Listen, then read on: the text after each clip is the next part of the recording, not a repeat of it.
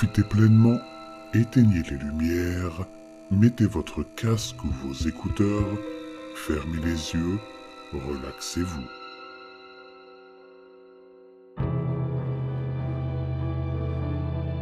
La porte bleue.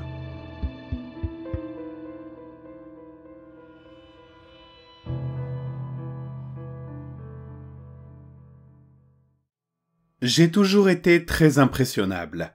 Aussi loin que je me rappelle, il en a toujours fallu très peu pour m'effrayer. Et ce que j'ai vu ce jour-là m'a jamais laissé une marque.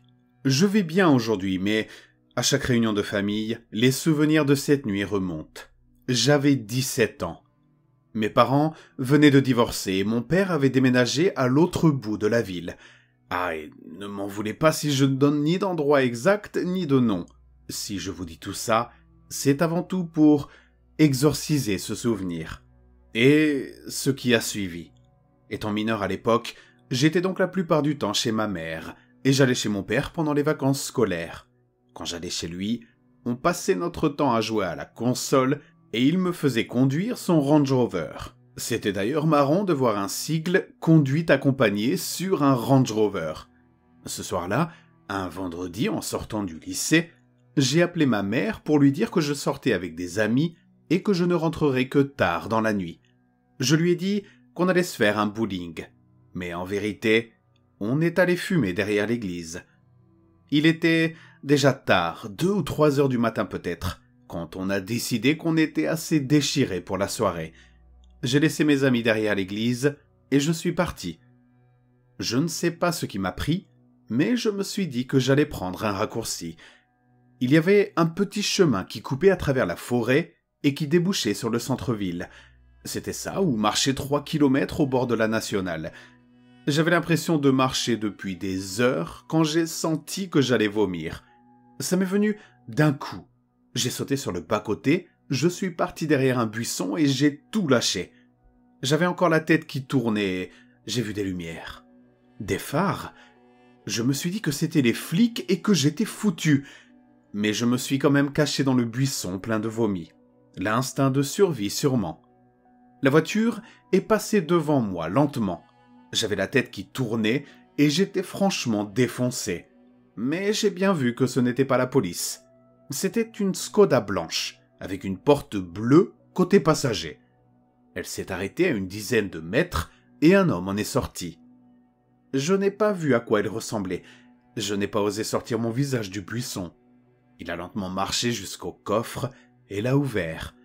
Et c'est là que tout a changé pour moi et ma famille. L'homme a sorti une fille ligotée du coffre de sa Skoda. Elle était inconsciente ou voire même morte. Elle était petite, peut-être même qu'elle avait mon âge. Il l'a lâchée par terre comme un sac de viande. Il s'est assis dessus et l'a frappée encore et encore. Des coups de poing dans le nez, la bouche, la gorge. L'homme s'est littéralement acharné sur elle. Et moi, je tremblais les yeux grands ouverts, caché à quelques mètres de là. Quand il s'est calmé, il a chargé la fille sur ses épaules et s'est enfoncé dans la forêt. Je ne savais pas quoi faire, attendre qu'il parte ou m'enfuir en courant. Je ne sais pas combien de temps j'ai attendu, mais l'homme ne revenait toujours pas. Et là, je me suis dit qu'il m'observait peut-être, qu'il pouvait être à quelques mètres de moi et qu'il attendait peut-être que je bouge. J'ai senti une décharge d'adrénaline et j'ai couru vers l'opposé de la direction que cette bête humaine avait prise. Je ne savais pas où j'allais atterrir, mais ça m'était égal tant que j'étais loin d'ici. Quand je suis arrivé sur le parking du Leclerc et que j'ai enfin vu les lumières du centre-ville, j'ai éclaté en sanglots. Et j'ai vomi. Mais pas à cause de l'herbe que j'ai fumée cette fois. Je ne sais pas pourquoi je n'en ai pas parlé à ma mère le lendemain. Elle a pourtant vu que je n'étais pas bien. J'avais envie de lui dire, mais j'ai tout gardé pour moi. Je ne l'ai même pas dit à mes amis. Je devais partir chez mon père ce samedi matin, mais je n'étais pas vraiment motivé.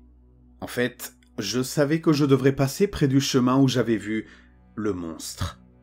Quand ma mère et moi sommes passés devant en voiture, mes jambes tremblaient et j'ai bien cru que j'allais me pisser dessus. Quand je suis arrivé chez mon père, je n'avais qu'une hâte, c'était de m'enfermer chez lui. Je ne lui ai pas non plus parlé de ce que j'avais vu.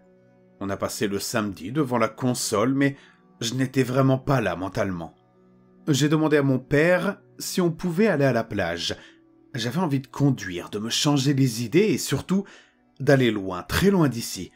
J'ai demandé les clés du Range Rover à mon père pendant qu'il préparait des sandwichs. Et je me rappellerai toujours de ces mots. J'ai tapé un sanglier avec le Range Rover, il est foutu. J'ai une voiture de prêt, tu peux aller la chercher sur le parking si tu veux.